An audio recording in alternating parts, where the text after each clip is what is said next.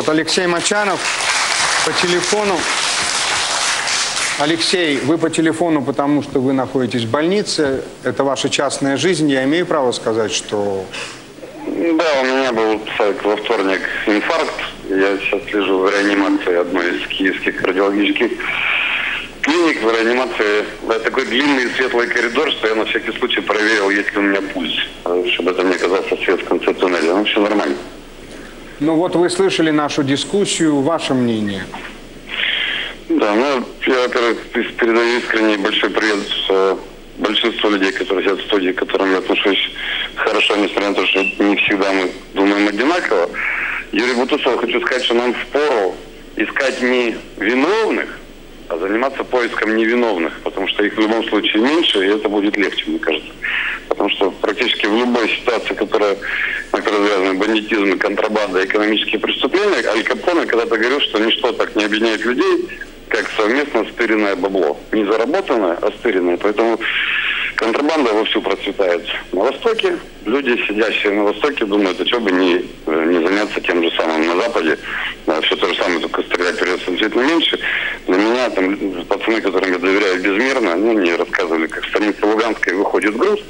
Вы же поймите правильно, не ездят по лесам и заминированным полям, какие-то отчаянные пацаны в надежде одну фуру провести, а что пять взорвется. Идет очередь из зенитки, очередь из зенитки обозначает, что э, фура вышла, никто по рации даже не общается.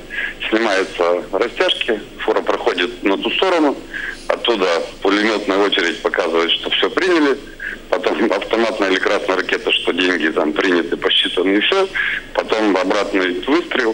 Так в течение там небольшого количества времени среди ночи люди думают, что идет бой, а это не бой, это азбука Морзе, который э, с одной и с другой стороны э, границы, негодяи, которые зарабатывают на войне, не хотят, чтобы она закончилась, э, занимаются бабками, и у них нет никакого желания. Они для всех в стране герои, там на месте они чувствуют себя очень неплохо, никто особо ничему не учился, и в гражданской жизни он не применим ни к чему.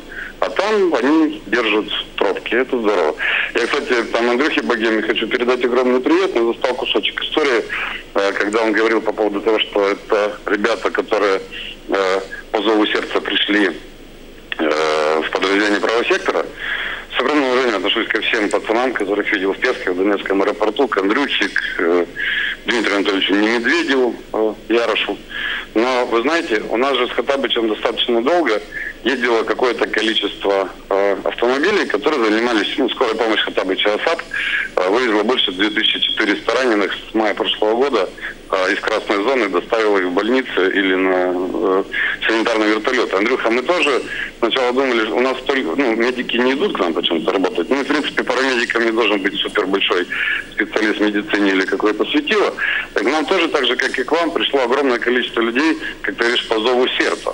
Но проблема все в том, что кроме зова сердца надо еще иметь хоть какие-то навыки, чтобы человеку остановить кровь и не дать э, остановиться дыханию. Поэтому наши ребята, им пришлось, э, будучи не специалистами, пройти полуторамесячные курсы, ну и иметь возможность хоть как-то спасать пацанов, а не просто повезло, потому что водитель быстро ехал, а ранение было не очень сильным. Поэтому если вы хотите заниматься... Ты помнишь наш разговор очень такой долгий и серьезный на Бориспольской трассе, когда ты вернулся с базы, я тебя встретил, мы говорили, что вам очень важно показать власти, как надо делать. Если в правом секторе действительно существуют какие-то овцы, которые занимаются э, под крышей правого сектора э, нечестными делами, ваша служба внутренней безопасности должна их ловить, и показывать людям, что с ними происходит. Но в итоге прошло с декабря месяца уже больше, чем полгода, и мы не особо много слышали, что происходит, кроме того, что там госпиталеры кого-то забрали там за бутерфанол. А, проблема и власти, и оппозиции, и людей, которые хотят быть хорошими и по-настоящему хорошие, мы все разучились разговаривать, озвучивать то, что мы делаем. И это рождает огромное количество догадок, в рамках которых есть у нас одна реальность живая, одна в интернете, одна по телевизору. Эти три реальности никогда не совпадают. Можно посидеть, поумничать, набрать себе определенный рейтинг. Но по финишу э, мы не видим никакого результата. Правый сектор пришел и переговорил с людьми и на границах, и даже к начальнику э, ГАИ Закарпатской области, объявив ему о том, о чем вот Корбан совершенно спокойно сказал, что они пришли, попросили на фронт.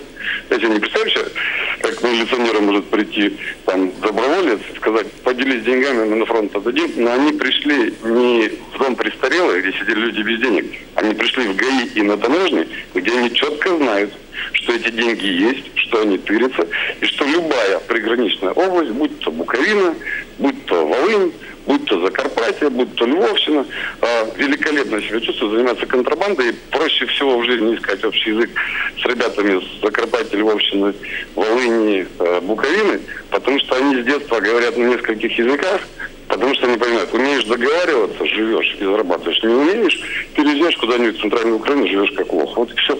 Спасибо, Алексей Мачанов.